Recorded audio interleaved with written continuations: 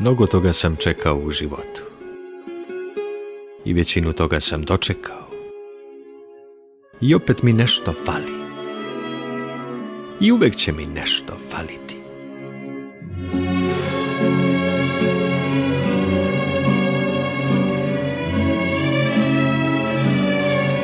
Odlagao sam kao niko u životu. Sve što sam mogao da odložim, odložio sam. Srećom nisam se pitao oko mog rođenja. Da jesam, i to bih odložio za neke bolje dane. U prevodu ne bih se ni rodio. I ti bolji dani nisu došli. Nisu. Došao je samo ovaj dan. Život je baš to ono što nismo odložili, a kada se stalno odlaže. Prijateljstva i ljubavi, poslovi i studiranja.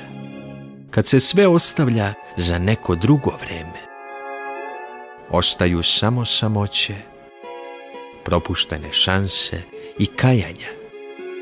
Za sve ono što je moglo odavno da se odradi, a nije.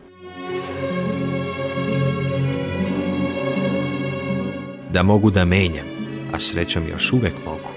U sve bih ulazio hrabrije i smelije. U sve bih ulazio mnogo jače nego do sada. I manje bih odlagao i ostavljao za sutra. A više bih živeo za ovo danas. Tako da svečano obećavam sebi, a i svetu. Od sutra počinjem da živim za ovo danas. Od sutra. Sve je lakše od sutra.